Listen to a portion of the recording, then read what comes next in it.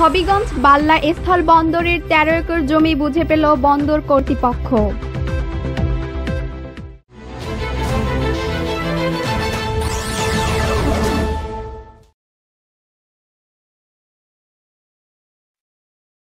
আসসালামু আলাইকুম।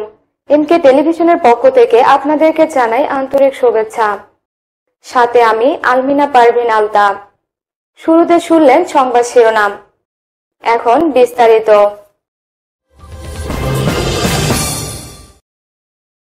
হবিগঞ্জ চুনারুঘাটের বাল্লা স্থল বন্দরের জমি নিয়ে দীর্ঘদিন যাবৎ বিভিন্ন জটিলতা ও বাধা বিপত্তির পর অবশেষে উপজেলার গাজীপুর ইউনিয়নের সীমান্তবর্তী এলাকা কেদারাকোট নামক স্থানে স্থলবন্দর উন্নয়ন প্রকল্পের তেরো একর জমি বুঝে পেল প্রত্যাশী সংস্থা বাংলাদেশ স্থলবন্দর কর্তৃপক্ষ। গেল চোদ্দ ডিসেম্বর সোমবার দুপুরে অধিগ্রহণকৃত জমিতে লাল নিশানা টানিয়ে আনুষ্ঠানিকভাবে জেলা প্রশাসন বাংলাদেশ স্থলবন্দর কর্তৃপক্ষের কাছে জমির দখল হস্তান্তর করে।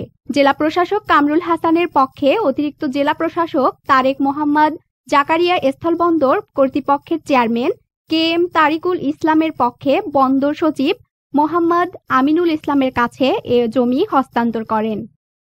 স্থলবন্দর কর্তৃপক্ষের কাছে আমরা যে স্থলবন্দর নির্মাণের জন্য মোট তেরো একর জায়গা অধিগ্রহণ করেছি এবং এটা আমাদের কার্যক্রম শুরু হয়েছিল সতেরো আঠারো অর্থ বছরে।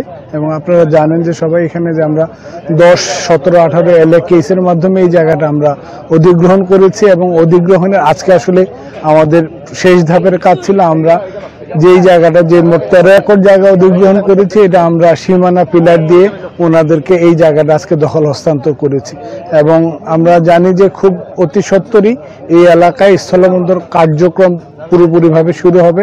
ওনাদের স্থাপনা নির্মাণ সহ অন্যান্য কার্যক্রম চলমান আছে।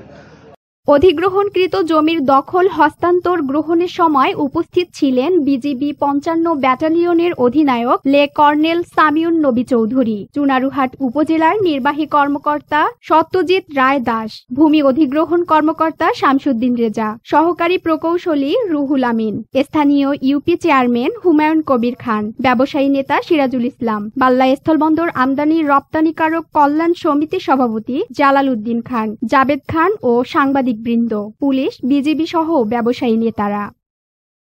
Jesmin Nahar, national desk M K television. দর্শক, এমকে টেলিভিশনের বিস্তারিত জানতে ভিজিট করুন এমকে টেলিভিশন ডট নেট এই ঠিকানায়।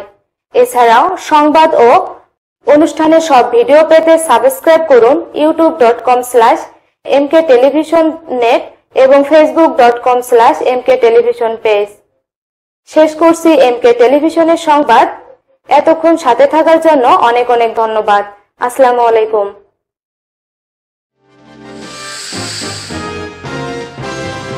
M K television.